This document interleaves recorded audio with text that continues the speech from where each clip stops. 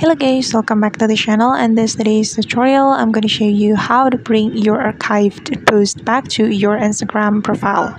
So guys, here I have already opened my Instagram application on my phone and the first thing we have to do is going to our Instagram profile. We can tap on this button and then after that we can tap on this three lines button on the top right corner of our screen and then we're going to select the archive option. It's over here okay and this is my stories archive.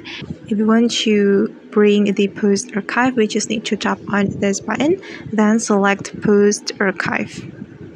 Okay and these are my archived posts on my instagram and select a post you want to bring back to your instagram profile.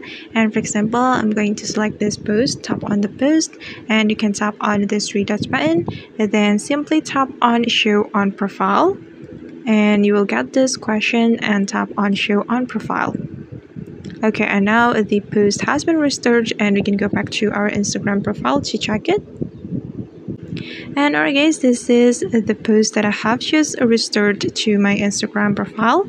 And that's how we can bring the archived post back to instagram profile. I hope this tutorial will be helpful for you. Thank you so much for watching and see you in the next video